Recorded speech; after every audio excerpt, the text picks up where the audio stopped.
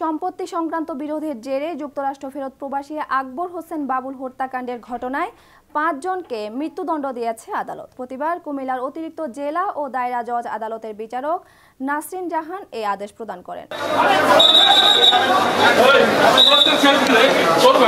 রাষ্ট্রপক্ষের আইনজীবী জাহিদ হোসেন গণমাধ্যমকে এই বিষয়টি নিশ্চিত করেছেন। দণ্ডপ্রাপ্তরা হলেন লিপি আক্তার, রহমতুল্লাহ রনি, কামাল হোসেন, তাজুল ইসলাম ও সজীব।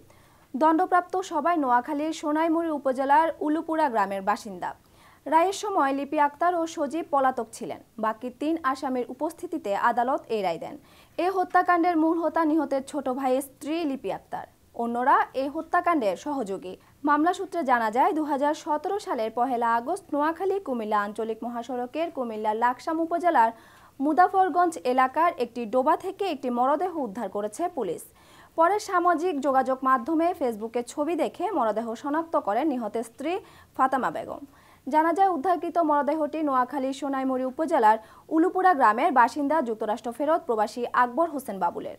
এ ঘটনায় কুমিল্লার লাকসাম থানা পুলিশের তৎকালীন উপপরিদর্শক শেখ মিল্টন রহমান বাদী হয়ে পাঁচজনকে আসামি করে একটি হত্যা মামলা দায়ের করেন।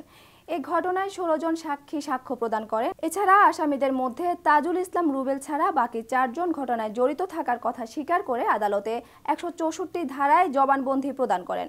অবশেষে আদালত আজ বৃহস্পতিবার এই রায় প্রদান করেন। উপার্জনের জন্য বিদেশ যেতে চাচ্ছেন, জেনে বুঝে সঠিক সিদ্ধান্ত এবং যথাযথ প্রস্তুতি নিয়ে বিদেশে যেতে ব্যবহার করুন। Safe step mobile app.